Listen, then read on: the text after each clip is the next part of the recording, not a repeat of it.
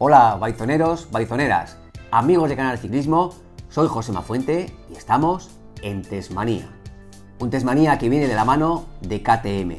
Y aquí tenemos que hacer una mención especial a la tienda de Demobike de Sodupe, en Vizcaya, que con Jonander a la cabeza nos ha prestado esta preciosa KTM Scarp. Y vamos a la prueba de campo. Tras un mes probando la KTM Scarp en todo tipo de terrenos, estamos en condiciones de emitir un juicio que no deja de ser una opinión personal lo más objetiva posible. Estéticamente no se puede negar el ADN de KTM. Sus colores son inconfundibles y para mi gusto personal es una bicicleta realmente bonita. El cuadro de la KTM Scarp modelo Master lleva el amortiguador paralelo al tubo superior. KTM denomina al nuevo sistema Straight Line Link. El amortiguador va anclado al tubo superior y después a una bieleta de carbono construida de una sola pieza, robusta y que da vida al basculante trasero. Un basculante que carece de más puntos de giro, dando como resultado un comportamiento ideal para rally maratón. Un sistema que deja espacio en el triángulo principal hasta para dos bidones, aunque en este caso, en la talla 17 que nos ocupa, el espacio es bastante ajustado, por lo cual hemos optado por poner solo un bidón. El cuadro es realmente ligero. Según la marca, cuadro y basculante sin el amortiguador no llega al kilo 700. Es larga de tubo superior vainas más cortas, dirección lanzada, vamos, que sigue la tendencia en la geometría de este tipo de bicis. Y lo cierto es que define un comportamiento mucho más manejable, estable y encima comodísimo. Fox es la encargada de dar vida a ambas suspensiones, la delantera y la trasera. Tiene un mando a distancia mecánico que aunque voluminoso, no nos ha dado ningún problema. Fiable y con tres posiciones. Una que lleva ambas suspensiones abiertas, otra intermedia que bloquea la suspensión trasera y una tercera que bloquea las dos suspensiones. El comportamiento de la suspensión trasera nos ha encantado. Es lo que esperamos en una bici de rally maratón traga lo suficiente para hacernos las bajadas complicadas de baches y piedras mucho más cómodas. La suspensión delantera con el Fit 4, para mi gusto, es muy progresiva. Se va endureciendo a medida que llegamos a la parte final del recorrido, lo que evita que hagamos topes. A mí personalmente me hubiera gustado un comportamiento más lineal, más suave de principio a fin, pero en ningún momento hemos notado ningún extraño en la suspensión. Es más, va a las mil maravillas.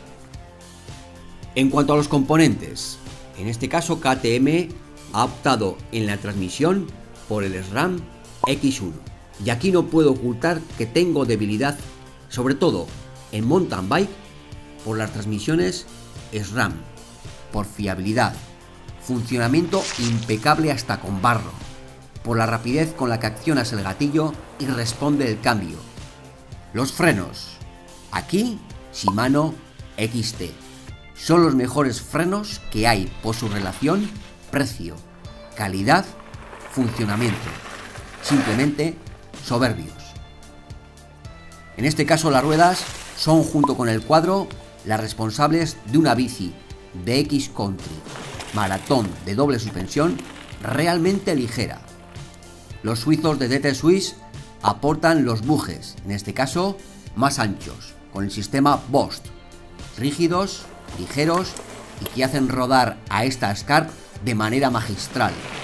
Es posiblemente el componente que más me ha sorprendido de la bicicleta.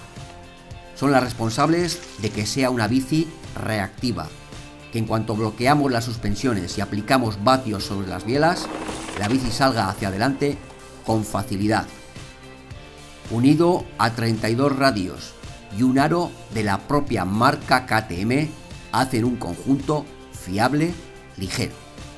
Los neumáticos. en anchura de 2,25 en ambas ruedas.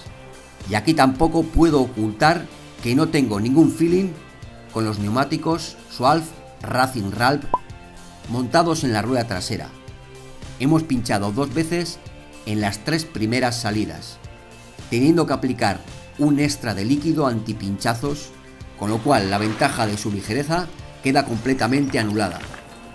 En barro no es que vayan mal, es que simplemente no van ni un mínimo. Y sobre todo en zona de madera, roca mojada, pues son realmente peligrosos. Sin embargo, cuando el terreno está seco y hay tierra suelta, el comportamiento es predecible y realmente bueno. Y es difícil que pierdan tracción. En la rueda delantera, también de la marca Swalf, es el neumático Rocket Ron. En mi opinión, es un buen neumático todoterreno, ligero, predecible y con buen agarre en curva, aunque de flancos débiles. La tija y el manillar son de la mano de Ritchey, en este caso un manillar de 71 centímetros de ancho, equilibrio y control. La potencia, que de serie viene una sintace, hemos tenido que ponerle una más corta de 50 y con 17 grados negativos para ponerla a nuestra medida. Tener en cuenta que KTM solo hace tres tallas en esta KTM Scarp y la más pequeña es una talla 17. Los puños tienen un buen grip, pero son bastante endebles, por lo que ha sido el único componente que no se ha mantenido con un mínimo de durabilidad, amén de que no son muy cómodos. Nos ha sorprendido dando en la báscula 11 kilos 40 gramos con pedales y portabidón incluidos. Un peso que en máquinas dobles de X Country Maratón de la competencia tendríamos que irnos a 7.000 euros, frente a los 4.580 de esta KTM Scarp Master. Puedo afirmar con rotundidad que es la bici, en el amplio sentido de la palabra, perfecta para la gran mayoría de practicantes de mountain bike aficionados y aficionados avanzados. Y digo esto porque es una máquina predecible en todo momento. Enlaza curvas con aplomo y seguridad. No esperemos que sea un torbellino, no. Esta KTM es una bici que facilita la conducción y que perdona errores si la ponemos al límite, tanto a la hora de ir de pie o sentado, es muy muy efectiva. Y sobre todo, horas y horas encima de la bicicleta y nuestro cuerpo no se ha resentido en absoluto. Bueno, pues esta ha sido la prueba de campo, que llevamos más de un mes con esta preciosa KTM y este ha sido el resultado. Espero que os haya gustado. José Fuente y nos vemos en un próximo Tesmanía.